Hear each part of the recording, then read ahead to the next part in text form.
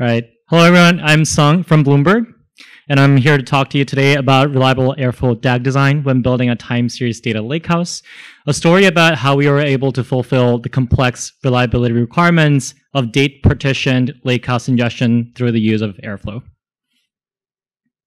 So at Bloomberg, we maintain live streams of financial data through time. And recently, uh, there has been a growing interest in the financial sector to acquire historical data to backtest quantitative models to verify the success of their trading strategies. And we provide the service by ingesting date partition data into the cloud in a lakehouse. And while that might sound somewhat manageable to you, what makes it all the more difficult are human expectations. Human expectations when accessing a time series data store can be verbalized like the one you see on the screen. Daily, starting Tuesday, September 19, 2023, today, uh, between 5.30 p.m. and 7.30 p.m. EDT. And a simple statement like this encapsulates various different elements of reliability requirements. The start date and time from which the user will start to expect seeing the dataset available on the lakehouse, the recurrence pattern, the frequency with which they will expect to see updates to the data day over day with new data, and the expected delivery window they will expect to acquire those updates. And these human expectations are incredibly important to honor because the if these reliability requirements are not fulfilled, the outcome is simply that the data will not be there when you expect it. And this is going to make your users very mad uh, because they're not going to be able to run that awesome time series model that they built with your data that they're paying money for with today's new data point that they were hoping to make a game time decision. Why wouldn't they be mad, right? So we have a vested interest in fulfilling these re reliability requirements and meet these human expectations. And if you didn't realize already, this sort of schedule-based, timetabled expectation is starting to look incredibly airflowy.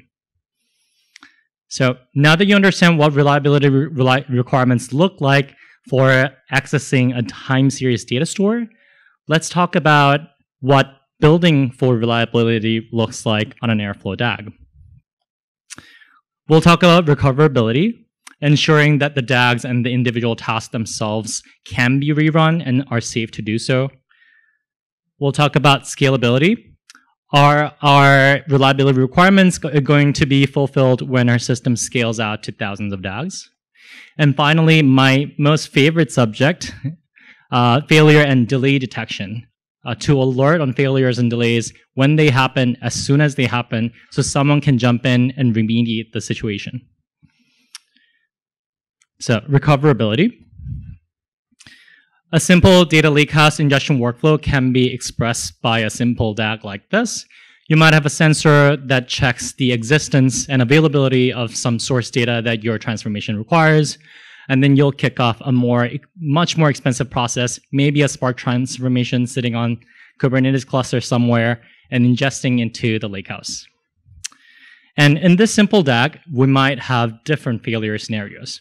The sensor could fail, your transformation task could fail, Regardless, it's going to be important for us to design our DAG to be recovery friendly so that these tasks will eventually succeed when these underlying issues are resolved. So a common mistake in ingesting time series or date partition data into a lakehouse is querying for the latest data when you're fetching the data. And this becomes a problem, especially if your task doesn't succeed when it is supposed to, when you're expecting it to. Because let's say a task that was supposed to succeed today to fetch today's data might instead succeed tomorrow because of a day-long Airflow cluster outage. Then what data do we have and that we have ingested onto the 19th, the 20th, right? So in order to make this task idempotent, what we can do is use some sense of time when you select and filter on your query where you're fetching the data. And a natural way to do this in Airflow is to combine this and connect it to the concept of data interval, which is set deterministically on the Airflow DAG by the timetable that is defined on it. And similarly, we can use this timetable related sense of time to determine the right partition in your own open table format so that the task will consistently upsert into the same date partition that it is re responsible for, no matter how many days later you're going to be rerunning the task. So next up, let's make the task uh, atomic. And this can be a challenge in the world of big data when each write is responsible for many different files. So what does it mean to be atomic? We're trying to make it behave as close to a transaction as possible.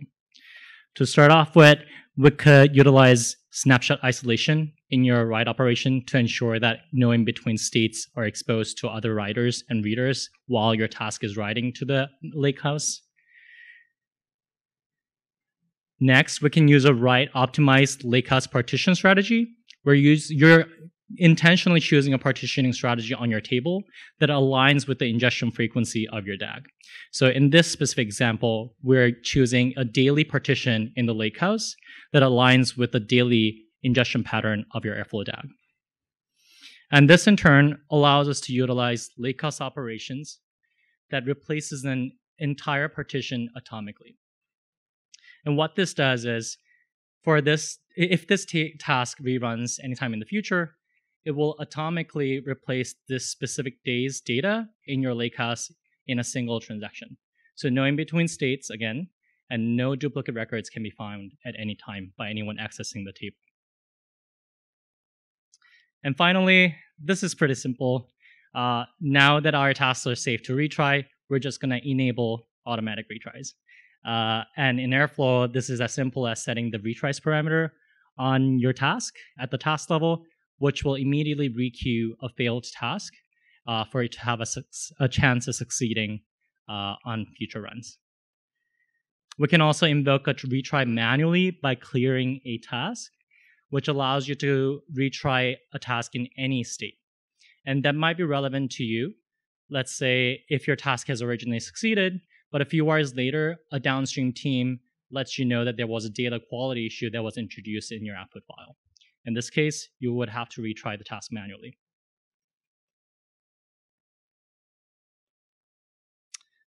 Let's talk about scalability.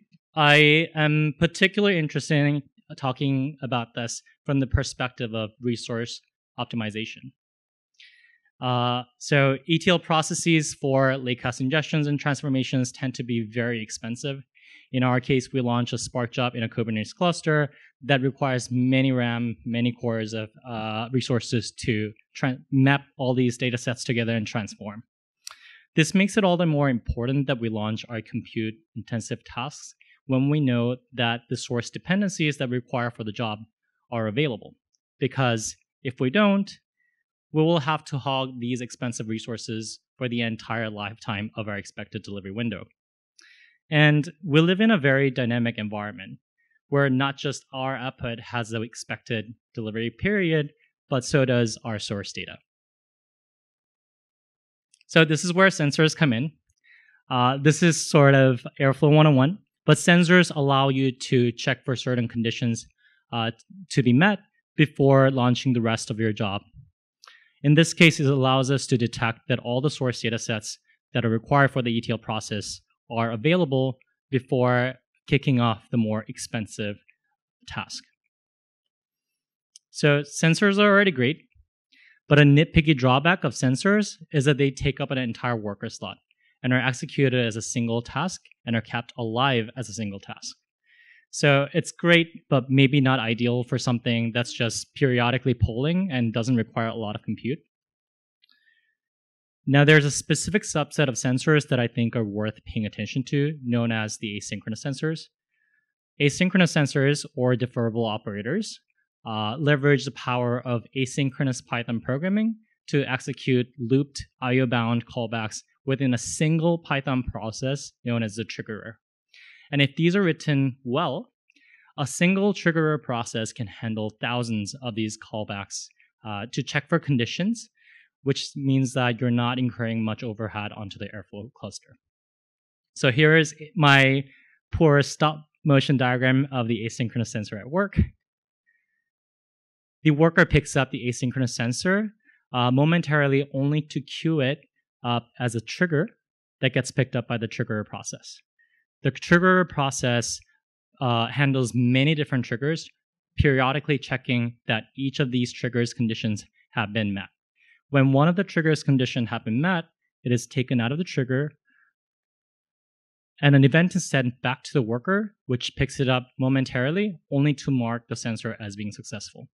So in this simple workflow, you can already understand how little of the worker's capacity an asynchronous sensor incurs. Okay, let's talk about failure and delay detection. Again, here is a simple diagram of our Lakehouse ingestion workflow. And a number of things could go wrong here. The Kubernetes Spark job operator could fail for a number of different reasons. Uh, the source data sensing task could fail also for a number of different reasons. And when it does, a good way to be alerted on this is by using the onFailure callback uh, that can be defined at the task level. What this does is you define a callable function of your choice that will be invoked when the task fails.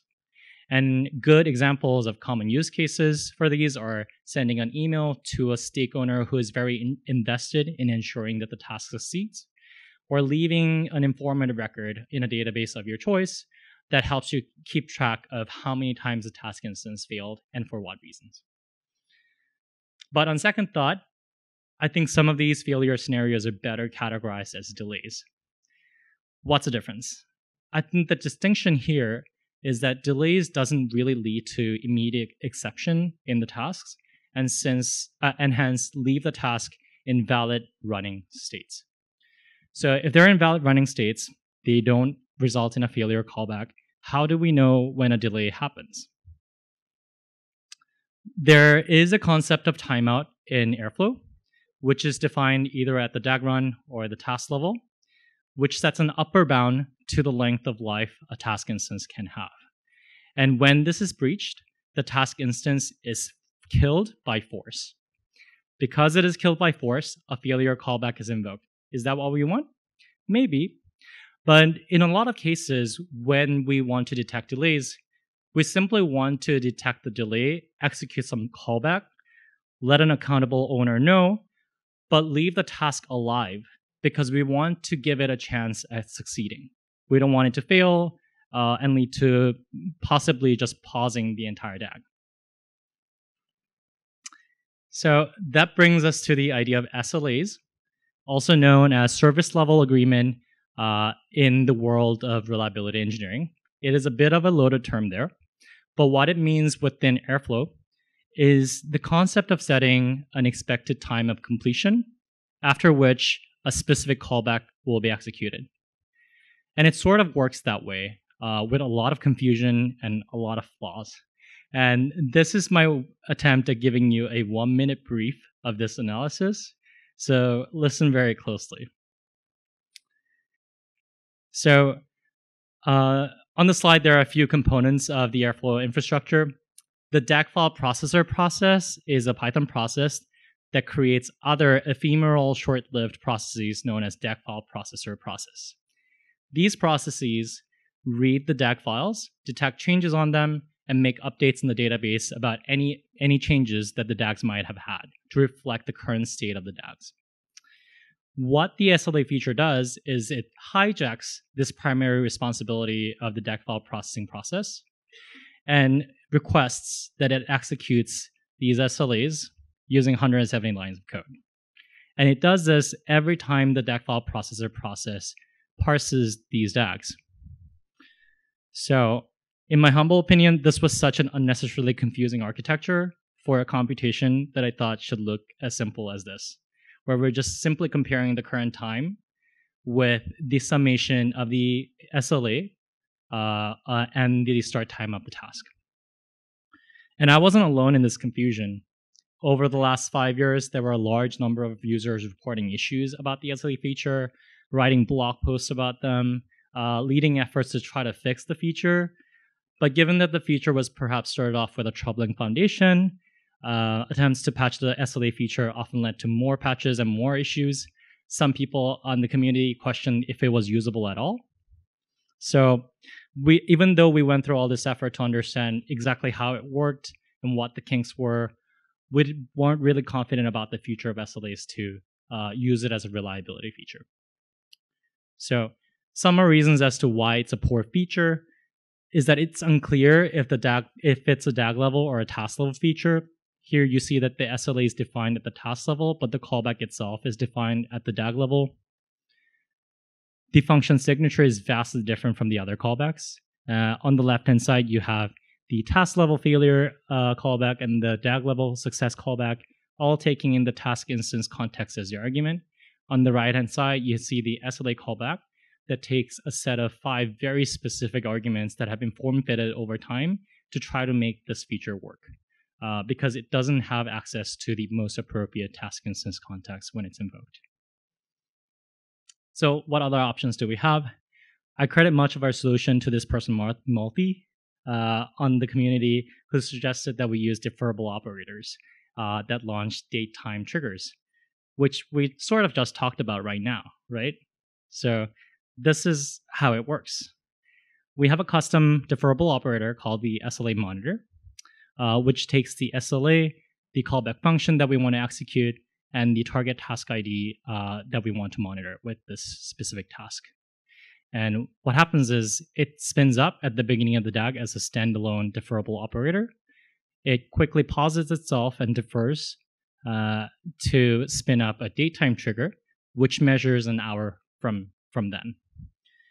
And when um, after an hour is measured, uh, it sends a signal back to the SLA monitor to say, hey, come back alive. Let's check if the sensor that we're monitoring has succeeded by then. And if it has, it just quietly exits.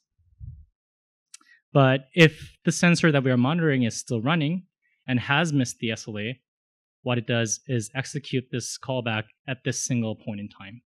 So you can see here that instead of hijacking a different process and constantly checking if these SLAs have missed, we're checking it at one single point in time, which is very intuitive to what we would want to do. Here's an example of the SLA monitor in action. We have a single SLA monitor in this DAG that is designed to monitor the SLA of the source file sensor, which is a sensor that again detects that the uh, source data that we need for the transformation have become available. And if this sensor misses this SLA, we actually want to be really smart about it. We want to send an alert to the owners of these datasets and just forget about it. Uh, so let's see what the SLA monitor does when it runs. Just like we discussed, it comes up as a standalone process. It quickly defers itself, starts a date time temporal trigger that keeps track of an hour from then, 1830 to 1930. And 1930, exactly, it sends an event back to the worker. The worker picks up the deferred SLA monitor, and at this single point in time, checks if the sensor has succeeded by then. In this example, it hasn't, executes the SLA miss callback. And since this specific callback is defined for this specific task, and we have access to the task instance context and its rich information, we're able to print out and spoon feed this amazing information to the person that we're alerting uh, regarding what they're supposed to pay attention to. So on an ending note, we've been very delighted at how customizable, scalable, and predictable these SLA monitoring solution has been. Here we have an example of two SLA monitors, each tracking the SLA of two separate tasks uh, with two separate callback functions defined on them. So SLA monitor A, which senses the SLA of the sensor, might again send an email to the owners of those datasets, whereas the generic callback might keep track of uh, and leave records in a database about how many times we have missed uh, our users' SLAs. And if the SLA monitors were deferred for longer uh, than the main workflow uh, on the top, we could make use of a custom teardown operator that sets the tasks of these supplementary SLA monitoring tasks to success state. So the overall state of the DAG run can be taken down as having been successful because we have nothing to monitor the SLAs for anymore so that it can be taken out of the scheduler loop. And that's all I had. Thank you very much.